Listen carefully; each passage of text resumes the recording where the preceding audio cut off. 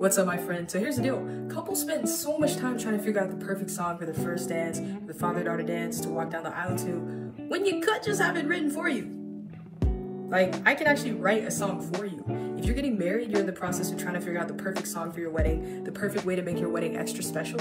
Have you ever thought about getting a custom song? Well, if not, click the links in the description below and you can learn more about the process of getting a custom song. It's something you can use however you want at your wedding. I can perform it live if you want it to be performed live. I can also not. I can do it virtually, that kind of thing. Um, it can be used for a father-daughter dance, mother-son dance, um, your first dance. You can walk down the aisle to it.